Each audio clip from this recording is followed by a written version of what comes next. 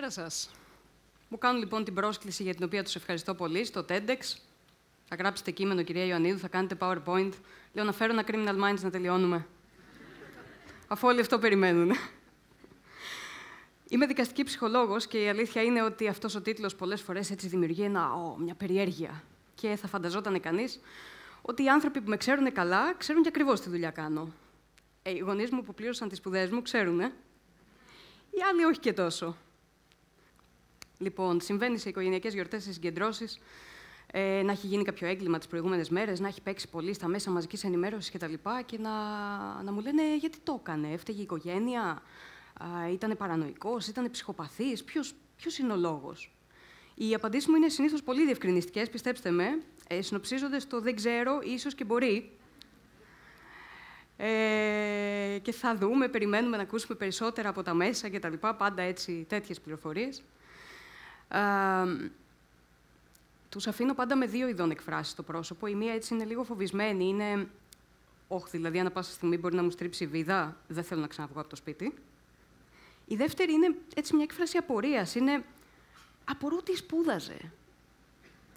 Σπούδαζα λοιπόν τον κλάδο εκείνο ο οποίος συνδέει το έγκλημα, την παραβατικότητα, τον νόμο από τη μία πλευρά και την ψυχολογία από την άλλη.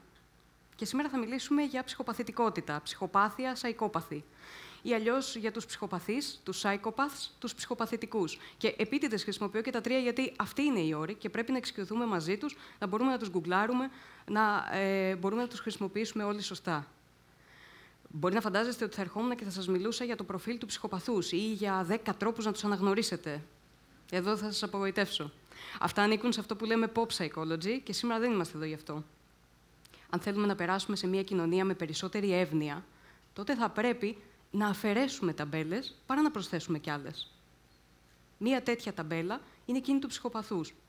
Οι κατηγορίες, όσο μας βοηθούν να κάνουμε τη δουλειά μας καλύτερα, τότε καλώς υπάρχουν. Οι κατηγορίες, όχι οι ταμπέλες. Όταν όμως αρχίζουν να είναι στιγματιστικές, τότε οφείλουμε κι εμείς με τη σειρά μας να αρχίσουμε να τις επαναδιαπραγματευόμαστε. Περνάμε λοιπόν στην ε, ψυχοπαθητικότητα και την ψυχοπαθολογία. Υπάρχει μια σύγχυση ανάμεσα σε αυτές τις δύο έννοιες και αυτό ε, για λόγους ενοιολογικούς, γιατί ηχητικά μοιάζουν έτσι, ε, οι δύο λέξεις. Η ψυχοπαθολογία είναι ένας όρος ομπρέλα. Έχει από κάτω της όλες τις διαταραχές. Όπως είναι η κατάθλιψη, η σχιζοφρένεια, η ψυχοπαθητικότητα είναι μόνο μία από αυτές τις διαταραχές. Και το να συγχαίει κανείς ε, αυτά τα δύο είναι σαν να λέει πως όλοι οι ασθενείς είναι καρκινοπαθείς. Τα ΜΜΕ βέβαια, πολλές φορές, για λόγους εντυπωσιασμού, για λόγους clickbait, συγχαίουν αυτά τα δύο και μας γράφουν με μεγάλους τίτλους «Ο ψυχοπαθής δολοφόνος». Αντί να μας πούν πιο απλά, πιο σωστά, ο δολοφόνος που έπασχε από ψυχοπαθητικότητα. Ή ακόμα σωστότερα, ο ανθρωποκτόνος. Τελεία. Τις περισσότερες φορές δεν ξέρουμε αν είχε δόλο, δεν ξέρουμε αν έπασχε από κάτι. Οπότε όλο το υπόλοιπο είναι, είναι περιττό. Και δεν είναι απλά περιττό, περιττό είναι στιγματιστικό. Πρώτος μύθος, λοιπόν, έφυγε. Αυτά τα δύο δεν είναι ίδια. Είναι μια διαταραχή προσωπικότητας η ψυχοπαθητικότητα, η οποία δεν βρίσκεται όμως στο DSM. Και θα μου πείτε, τι διαταραχή είναι αυτή; Άμα δεν υπάρχει στο πιο βασικό εγχειρίδιο, στο πιο συνηθισμένο εγχειρίδιο που υπάρχει με όλες τις ψυχικές διαταραχές μέσα.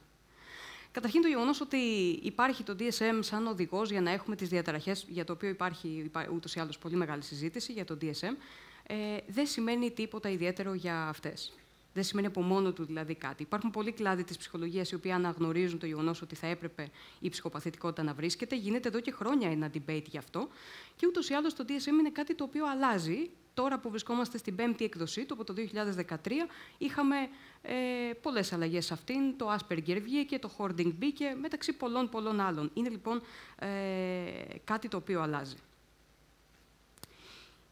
Είναι τέσσερα, τέσσερα εκείνα τα επίπεδα της ε, ζωής του ατόμου, τα οποία επηρεάζονται από την ψυχοπαθητικότητα. Καταρχήν έχουμε το συναισθηματικό κομμάτι. Εκεί ο ψυχοπαθής δεν έχει ενσυναίσθηση.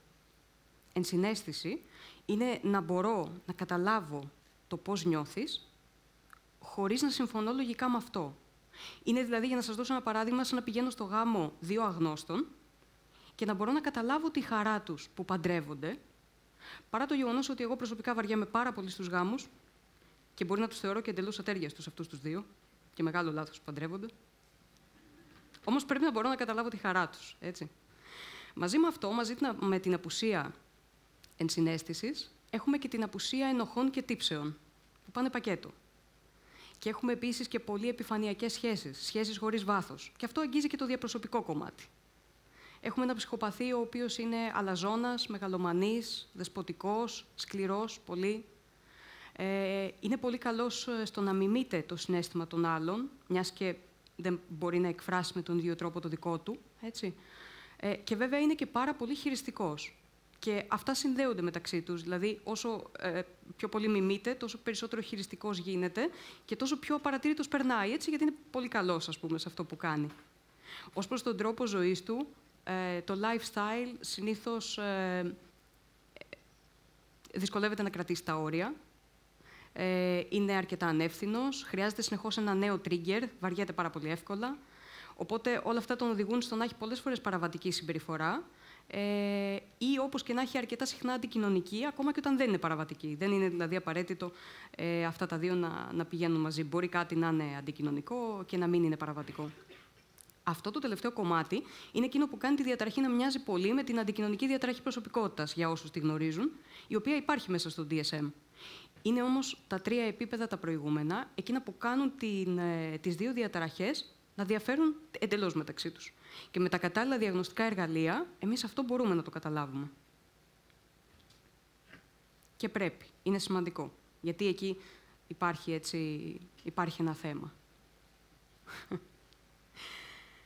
Περίπου ένας ε, στους 100 ανθρώπους πάσχει από ψυχοπαθητικότητα. Περίπου 25% από, την άλλη, από τον έγκλειστο πληθυσμό, δηλαδή τους ανθρώπους που ζουν σε φυλακές ή forensic settings, πάσχει από ψυχοπαθητικότητα και 75%, εκεί το ποσοστό είναι πολύ μεγαλύτερο, πάσχει από αντικοινωνική διαταραχή προσωπικότητας. Και εκεί, λόγω του μεγάλου αυτού ποσοστού, βλέπουμε το κομμάτι της, ε, της υπερδιάγνωσης. Είναι για χρόνια, πιστεύαμε, ο κάλαθος των αχρήστων η, η ψυχοπαθητικότητα. Είναι εκεί όπου πετάμε ό,τι δεν ξέρουμε. Ξέρουμε ότι ο άλλος πάσχει από κάτι, δεν ξέρουμε από τι, το λέμε ψυχοπαθητικότητα. Όχι, δεν είναι. Στις μέρες μας έχουμε πολύ συγκεκριμένα διαγνωστικά εργαλεία, ξέρουμε πώς να τη διαγνώσουμε, ξέρουμε πώς να κάνουμε ασφαλή διάγνωση, αν χρησιμοποιήσουμε το σωστό εργαλείο και αν εμείς οι ίδιοι είμαστε εξειδικευμένοι και δεν υπάρχει περίπτωση να ξεφύγουμε τόσο, τόσο πολύ. Επίσης, οι ψυχοπαθείς δεν έχουν κάτι συγκεκριμένο για να τους καταλαβαίνεις. Δεν, ε, δεν έχουν κάτι ορατό. Έτσι. Δεν είναι τίποτα creepy τύποι που κυκλοφορούν στα πάρκα με καπαρντίνα και γυαλιά και περιμένουν το θύμα τους. Δεν έχουμε, δεν έχουμε τρόπο να τους καταλάβουμε και με έναν τρόπο θα, θα λέγαμε ας πούμε, ότι είναι οι άνθρωποι της διπλανής πόρτας που πολλές φορές λέμε. Υπάρχουν πολύ επιτυχημένες απεικονίσεις της ψυχοπαθητικότητας, όπως ήταν ο Χάνιμπαλ Λέκτερ που είδαμε, ή και όχι τόσο καλές. Όπως και να έχει όμως, ε, στη μεγάλη οθόνη βλέπουμε πάντα μια σύνδεση μεταξύ ψυχοπαθητικότητας και υψηλού IQ, η οποία στην πραγματικότητα δεν υπάρχει. Έχουμε ένα μέτριο IQ στους ε, ψυχοπαθείς, όμως το γεγονός ότι είναι τόσο χειριστικοί, πολλές φορές ε, κάνει το IQ τους να φαίνεται ε, πολύ μεγαλύτερο. Οπότε λοιπόν πάει και αυτός ο μύθος. Και ερχόμαστε σε εμάς τις γυναίκες. Μπορούμε να είμαστε ψυχοπαθείς; Μα γιατί όχι; Πώς δεν μπορούμε; Όλα τα μπορούμε. Δεν τα μπορούμε.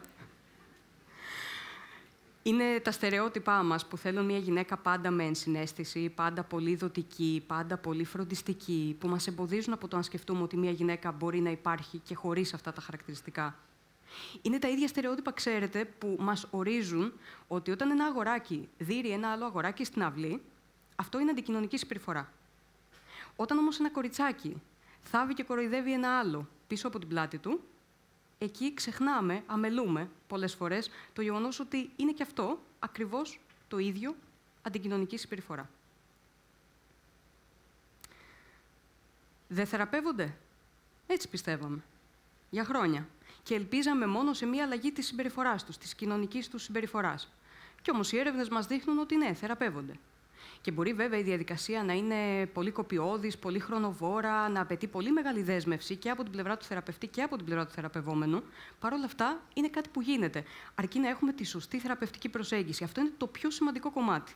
Αν όχι, τότε μπορεί να καταφέρουμε και τα αντίθετα αποτελέσματα. Να δημιουργήσουμε δηλαδή ακόμη πιο καταστροφικές συνθήκες. Και πάμε σε αυτό που ξέρω ότι έτσι σας ενδιαφέρει και θέλετε τόση ώρα. Είναι εγκληματίε, είναι serial killers, σκοτώνουνε, είναι αυτοί που βλέπουμε στο Criminal Minds και στη τηλεόραση και μετά δεν μπορούμε να κοιμηθούμε τα βραδιά. Καταρχήν, πρέπει να κάνουμε ένα διαχωρισμό. Ψυχοπαθητικότητα δεν σημαίνει σαδισμός. Το να μην μπορώ να νιώσω το συνέστημα, τον πόνο του άλλου, δεν σημαίνει, δεν είναι το ίδιο με το να ευχαριστιέμαι τον πόνο του άλλου, που είναι ο σαδισμός. Αυτά τα δύο μπορεί να συνεπάρχουν, δεν σημαίνει όμως απαραίτητα ότι τα έχουμε πάντα μαζί. Πολύ χαρακτηριστικό παράδειγμα είναι ο Ted Bundy. Ted κι αυτός, σαν το event. Ε, είναι πολύ χαρακτηριστικό παράδειγμα ψυχοπαθούς, πάντα αυτόν χρησιμοποιούμε στις ε, ομιλίες. Δεν είναι όμως όλοι εγκληματίες, δεν είναι όλοι Ted Bundy. Έτσι, πρέπει να το έχουμε κατά νου αυτό. Και μάλιστα είναι αυτό που λέμε πολλές φορές άνθρωποι της διπλανής πόρτας, όπως είπαμε και πριν. Είναι υπεράνω πάσης υποψίας. Και πολύ συχνά έχουν πολύ ψηλά αξιώματα, έχουν πολύ καλή κοινωνική θέση.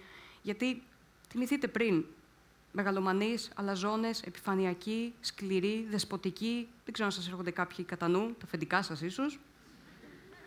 Κρατήστε τους αυτούς που σας έρχονται κατά νου. Είναι όλοι στη φυλακή; Όχι. Το να πιστεύει κανείς ότι όλοι είναι εγκληματίες είναι εξίσου αφελές όσο η πεποίθηση ενός μικρού παιδιού ότι όλοι οι κακοί είναι στη φυλακή. Και πάμε στην έννοια του καταλογισμού. Το άρθρο 34. Ε, Πολλές φορές πιστεύουμε ότι οι άνθρωποι, όταν πάσχουν από κάποια ψυχική διαταραχή, είτε ψυχοπαθητικότητα είτε οτιδήποτε άλλο, μπορούν να θωθούν στο δικαστήριο, να πάνε σπίτι τους, μια χαρά. Αυτό προέρχεται από μια λανθασμένη αντίληψη σχετικά με το άρθρο 34 του ποινικού κώδικα, που μας μιλάει για τον καταλογισμό. Με απλά λόγια, μας λέει τι, ότι μια πράξη δεν μπορεί να καταλογιστεί στο δράστη, εάν αυτός δεν την καταλάβαινε τη στιγμή που την έκανε, ή αν παρότι την καταλάβαινε δεν μπορούσε να κάνει διαφορετικά. Θα σα πω δηλαδή ένα απλό παράδειγμα. Υπνοβατώ εγώ το βράδυ και σηκώνομαι και σπάω ένα βάζο κατά λάθος περπατώντας στο σπίτι μου. Ξυπνάω το πρωί, βλέπω το βάζο σπασμένο, ξέρω ότι δεν έχει μπει κανένας, ξέρω ότι το έχω κάνει εγώ, έτσι. Παρότι όμως το έχω κάνει και είμαι ένοχη, μπορεί αυτή η πράξη να μου καταλογιστεί, αφού δεν καταλάβαινα τι έκανα. Δεν είχα συνείδηση δηλαδή της πράξης μου. Αυτό λοιπόν είναι ο καταλογισμός. Η ύπαρξη μιας διαταραχής από μόνη της δεν σημαίνει απαραίτητα άρση ή μείωση του καταλογισμού. Αυτό είναι πολύ σημαντικό. Και αυτή η άρση ή η μείωση του καταλογισμού δεν σημαίνει απαραίτητα ότι κάποιος ε, θα θωθεί ή θα, ή θα πάει σπίτι του. Η παράνοια είναι ξέρετε, μία λέξη που προκαλεί φόβο. Είναι, ας πούμε, η τρέλα με πιο όμορφα ή με πιο επιστημονικά γράμματα. Όπως και η ψυχοπαθητικότητα. Και αυτή προκαλεί φόβο.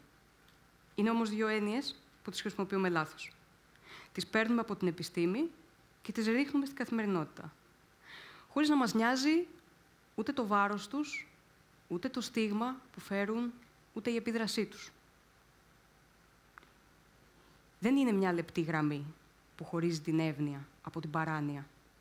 Και δεν είναι μια λεπτή γραμμή που χωρίζει την ψυχική υγεία από την ψυχική ασθένεια. Είναι ένα μπλεγμένο δίχτυ χιλιάδων γραμμών. Είναι ένα κουβάρι που εμείς οφείλουμε να ξεμπλέξουμε. Να το πάρουμε λίγο-λίγο και να έχουμε την υπομονή να το ξεμπλέξουμε.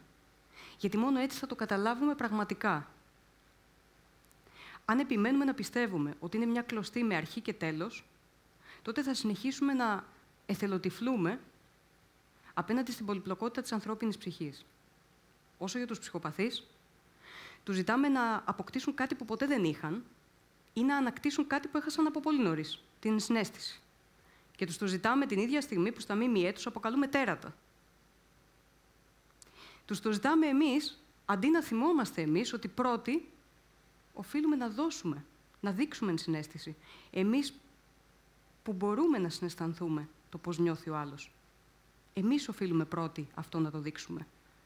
Και να ξεβολευτούμε λίγο για να ευνοήσουμε όχι εκείνον, αλλά το εμείς. Γιατί και εκείνος είναι εμείς και φυσικά εμείς θα μπορούσαμε, πιστέψτε με, να είμαστε εκείνος. Θέλω να κλείσω με μια φράση του Καζαντζάκη, γιατί πολλές φορές ε, στη δουλειά επάνω με ρωτάνε πώς μπορείς να δουλεύεις, ας πούμε, με τέτοιους ανθρώπους, πώς γίνεται; Και είναι μια φράση που τη σκέφτομαι συχνά. Τι με ρωτάς για την καρδιά του αμαρτωλού; Εγώ κατέχω την καρδιά του ενάρετου, υποτίθεται, και είναι όλοι οι δαιμόνοι μέσα. Σας ευχαριστώ πολύ.